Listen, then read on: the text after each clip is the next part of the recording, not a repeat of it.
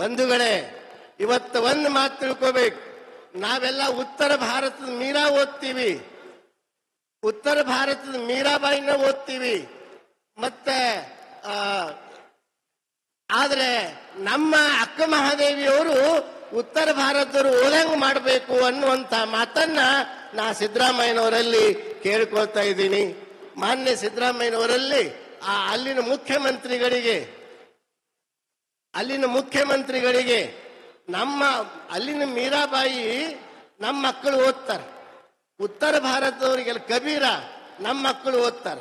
ನಮ್ಮ ಅಕ್ಕ ಮಹಾದೇವಿ, ನಮ್ಮ ಕಿತ್ತೂರಾಣಿ ಚೆನ್ನಮ್ಮ, ಕನಕದಾಸ, ಸಂಗೊಳ್ಳಿ ರಾಯಣ್ಣ, ಅವ್ರು ಯಾಕೆ ಓದಬಾರದು ಉತ್ತರ ಭಾರತದವರು? ಅದಕ್ಕೆ ತಾವು ಉತ್ತರ ಭಾರತದ ಮುಖ್ಯಮಂತ್ರಿಗಳಿಗೆ ಹೇಳಿ ನಮ್ಮ ಅಕ್ಕ ಮಹಾದೇವಿ ಮತ್ತು ಕನಕದಾಸ, ಬಸವಣ್ಣ ಸಂಗೊಳ್ಳಿ ರಾಯಣ್ಣ ಅಲ್ಲಿನ ಪಠ್ಯದಲ್ಲಿ ಬರುವಂತೆ ತಾವು ಮಾಡಿದರೆ ಸಾಧ್ಯ ಅದ ಸರ್ಕಾರದ ಮಟ್ಟದಲ್ಲಿ ಅಂತ ಒಂದು ಮಾತನ್ನ ಈ ಸಂದರ್ಭದಲ್ಲಿ ನೆನಪಿಸಿ. ಇವತ್ತ ಒಂದು ಮಾತು ಹೇಳ್ತಾ ಇದ್ದೀನಿ ಬಂಧುಗಳೇ.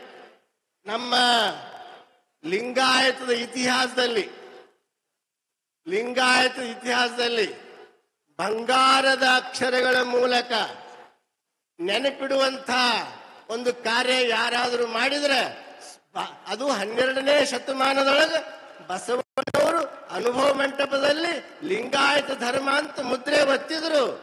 ಆದ್ರೆ ಮತ್ತೊಮ್ಮೆ ಸರ್ಕಾರದಲ್ಲಿ ಇದು ಲಿಂಗಾಯತ ಧರ್ಮ, ಸ್ವತಂತ್ರ ಧರ್ಮ ಅಂತ ಮುದ್ರೆ ಒತ್ತಿದಂತ ಏಕೈಕ ಧೀರ, ವೀರ ಶರಣ ಯಾರಾದರೂ ಇದ್ರೆ ಮಾನ್ಯ ಸಿದ್ದರಾಮಯ್ಯ, ಮುಖ್ಯಮಂತ್ರಿಗಳು. ಬಂಧುಗಳೇ ಇವತ್ತ ಒಂದು ಮಾತನ್ನ ನಾವು ನೆನ್ಪಿಟ್ಕೋಬೇಕು. ಪ್ರತಿಜ್ಞೆ, ಮಂತ್ರಿಗಳೆಲ್ಲ ಪ್ರತಿಜ್ಞೆ ಸ್ವೀಕಾರ ಮಾಡೋದಿತ್ತು.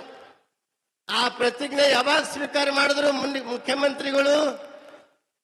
ಬಸವ ಜಯಂತಿಯಿಂದ ಬಸವ ಜಯಂತಿಯಿಂದ ಪ್ರತಿಜ್ಞೆ ಸ್ವೀಕಾರ ಮಾಡಿರುವಂತ ಮುಖ್ಯಮಂತ್ರಿಗಳು ಯಾರಾದರೂ ಇದ್ರೆ ಅವರು ನಮ್ಮ ನೆಚ್ಚಿನ ಸಿದ್ದರಾಮಯ್ಯನವರು. ಸಿದ್ದರಾಮಯ್ಯನವರು.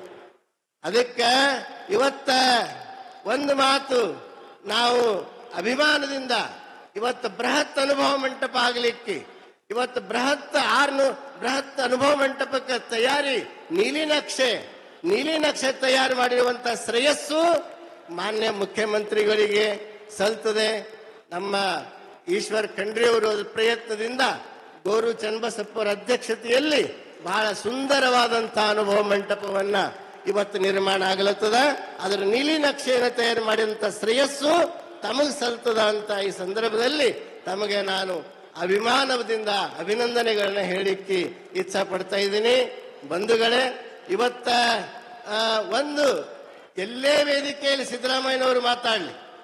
ಯಾವುದೇ ವೇದಿಕೆ ಮೇಲೆ, ತಾವು ಯಾವ ವೇದಿಕೆ ಮೇಲೆ ಮಾತಾಡಿದ್ರು ಏನು ಹೇಳ್ತೀರಿ? ನನ್ನ ವೈಚಾರಿಕ ಗುರು, ನನ್ನ ರಾಜಕೀಯ ಗುರು ಅಭಿಮಾನದಿಂದ ನನ್ನ ವೈಚಾರಿಕ ಗುರು, ನನ್ನ ಅಭಿ, ರಾಜಕೀಯ ಗುರು ಯಾರು ಅಂದ್ರೆ ವಿಶ್ವಗುರು ಬಸವಣ್ಣ ಅಂತ ಅಭಿಮಾನದಿಂದ ಹೇಳ್ತಕ್ಕಂತ ಮಾನ್ಯ ಮುಖ್ಯಮಂತ್ರಿಗಳು ನಮ್ಮ ಎದುರುಗಡೆ ಇದ- ಇದ್ದಾರೆ. ಅಂಥ ಇವತ್ತ ಬಂಧುಗಳೇ, ಇನ್ನ ಯಾವ, ಮತ್ತೆ ಯಾವುದೇ ವೇದಿಕೆ ಇರಲಿ, ಅಲ್ಲಿ ವಚನ ಸಾಹಿತ್ಯದ ಬಗ್ಗೆ, ಬಸವಣ್ಣನ ಬಗ್ಗೆ ಹೇಳಂತ ಮಂತ್ರಿಗಳು, ಮುಖ್ಯಮಂತ್ರಿಗಳು ನಮ್ಮ ಸಿದ್ದರಾಮಯ್ಯನವರು. ಇಂಥ ಅನೇಕ ಒಂದು ಮಾತು ನೆನ್ಪಿಟ್, ನೆನಪಿಸ್ಕೊಡ್ತೀನಿ.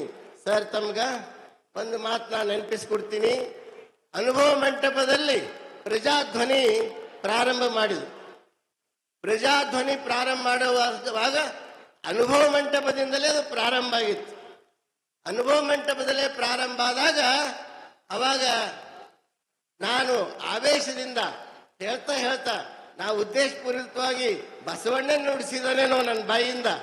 ಮುಂದೆ ನಿಮ್ ಸರ್ಕಾರ ನಿಮ್ದೇ ಬರ್ತದ ನೀವೇ ಮುಖ್ಯಮಂತ್ರಿಗಳೇ ಆಗ್ತೀರಿ ಅಂತ ಆ ಪ್ರಜಾಧ್ವನಿಯಲ್ಲಿ ಮೊಟ್ಟ ಮೊದಲು ನನ್ನ ಬಾಯಿಂದ ನುಡಿಸಿದ್ರು. ಮರುದಿವಸ ಎಷ್ಟೋ ಟೀಕೆಗಳು ಬಂದು ಎಷ್ಟೋ ಟೀಕೆಗಳು ಬಂದು. ಆದ್ರೆ ನಾ ಅದನ್ನ ಆ, ನಾ